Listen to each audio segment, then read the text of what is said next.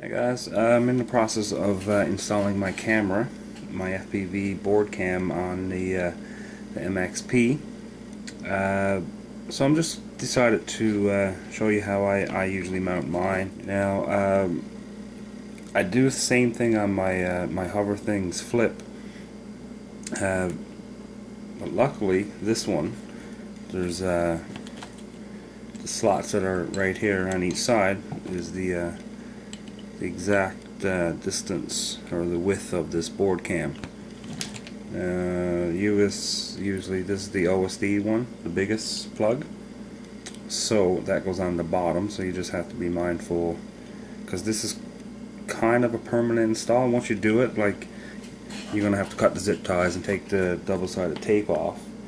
So you just want to make sure you have your uh, camera the right side up. Uh, this camera is Sony 960H, an 800 TVL. The model number is CC1526, and uh, Surveillance Zone sent it to me uh, to try out. So I'm going to put that in this and uh, see how it is. So, yeah, but yeah, the backing. I don't have uh, the backing that I had for this metal case don't fit the uh, the plug layout. I can't remember now if I said that or whatnot, but so basically all I'm going to do is put a little bit of uh, double-sided tape.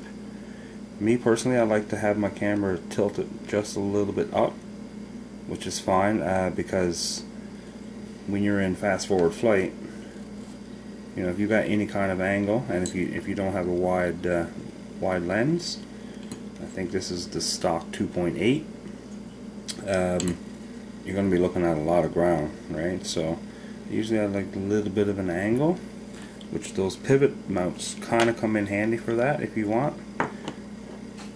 Um, so I usually just put a little bit of foam tape here, mount it where I want, and we're just going to build a little square square um, zip tie box, if you want to call it that. So you kind of got to do, you kind of got to just start.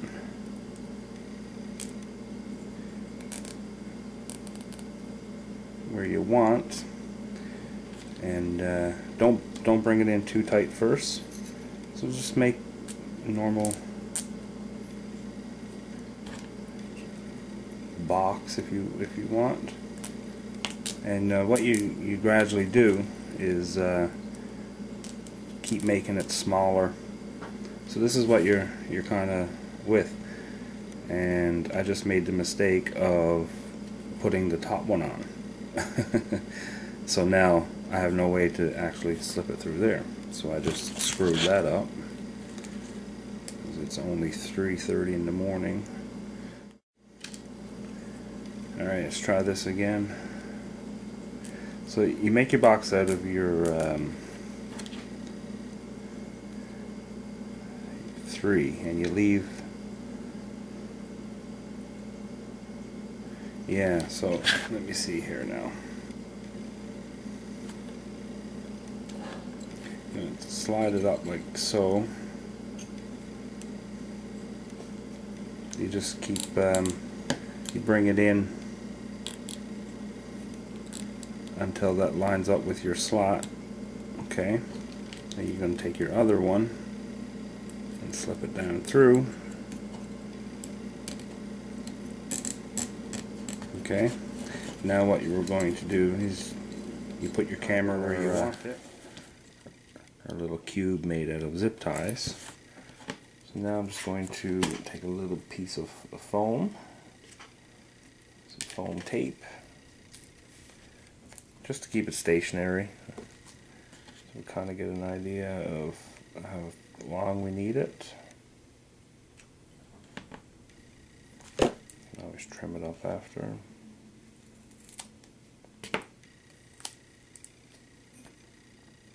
Pretty good. I'm just going to trim this off in half. And just make sure you know what side is what side you don't want to install your camera upside down and you're going to, then you're going to have to take it all apart again. We got our cube made and I pre-adjusted it and we're just going to mount your camera where you kind of want it.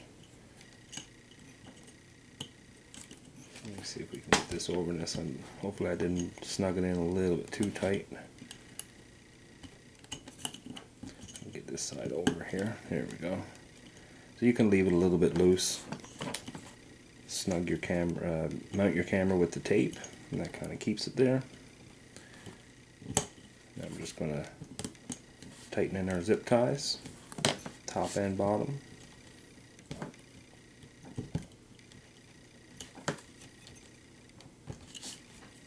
Let's see if we can snug them up on the bottom.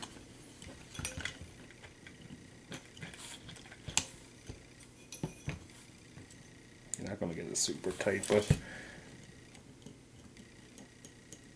that seems okay.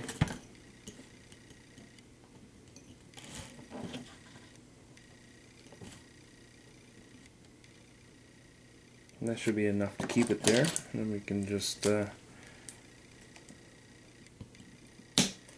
trim off our excess.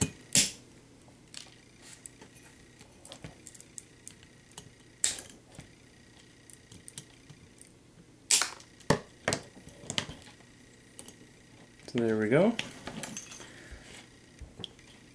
And if you wanted to uh, put a zip tie across here to keep it on the mounts, that's fine.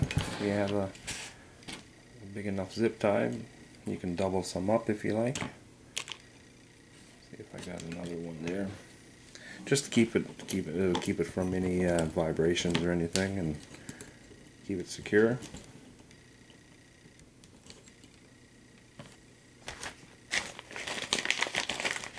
And I've had mine mounted on my flip now for quite some time, and it hasn't moved.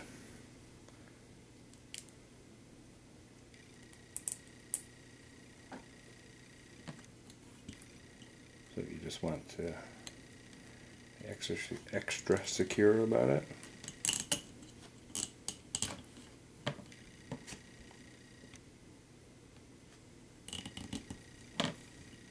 Is going to put a little bit of an angle, what I want. A little bit of back angle to, for when you're in uh, fast forward flight there. Like that.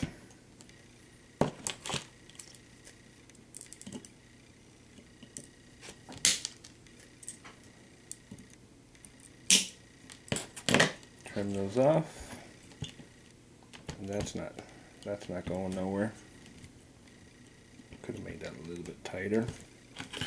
So we'll just put our top plate back on just to show you.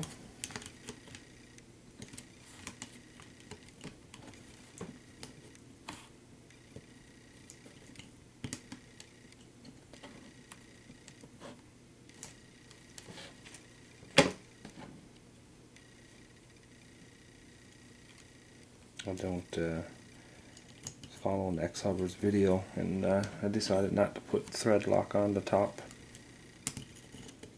top six screws. So you want to be taking this on and off a lot. You need to do anything I'm going to have to take this off again I'm just putting this back together now for the night. Because I'm waiting on a uh, the dual step down voltage regulator and filter from Ready Made RC because I want to power my camera and VTX off the main flight battery. Forgot this is a hex. Yeah, so I'm waiting on that. So I, once I get that, I need to. Uh, then I will uh, take it apart again. I'm gonna have to take the bottom off actually because I need to um, solder to the power distribution board again.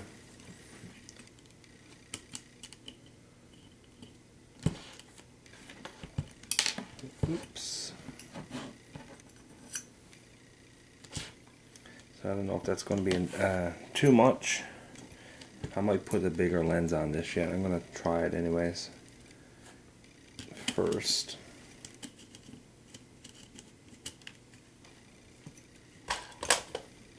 Try it first and see. But I'd rather, you know,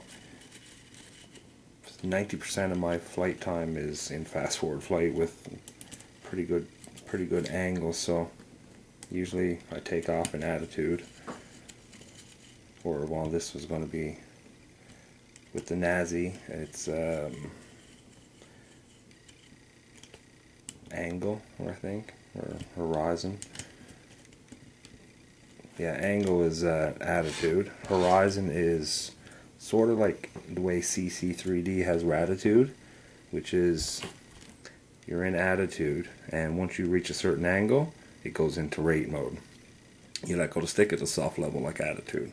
So it's kind of best of both worlds. I have it set up anyways on a three position switch for uh, angle and then horizon and then uh, just straight uh, rate. So anyways guys that's how I uh, that's how I normally mount my FPV cameras to uh, to my frames it uh, works with a little bit of tape make your little uh, zip tie box and uh, you are good to go. And that's that's not going anywhere. So anyways till next time uh, see you later